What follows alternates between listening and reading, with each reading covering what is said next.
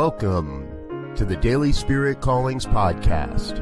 I'm your host, Robert Brzezinski, and I invite you to join me every day as we explore an affirmation, inspiration, and call to action for your life this day. And today is December 27th, 2018. Here is your daily spirit calling.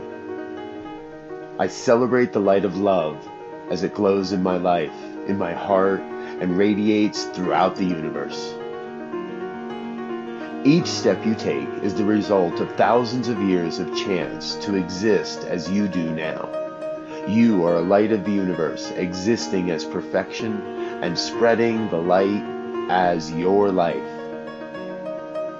Today, you are called to be a part of the light and the love that exists and create a more light filled universe.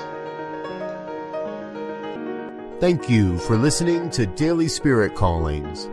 If you found value in this program, please share it with your friends. Learn more about Spirit Evolving Ministries at spiritevolving.com.